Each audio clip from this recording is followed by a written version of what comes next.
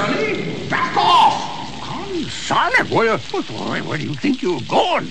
Oh, oh, excuse me. I, I, I, I, I, I was just trying to. Get on somebody's house like you own it. Harry, hooting around them wood, while waking up folks in the middle of the night. I honestly didn't know anybody lived here. And I. Well, you know it now. Now get off my property. Go on. Beat it. I've been watching you, sir. You can stay with me if you want to. That's very nice of you. I can come with me.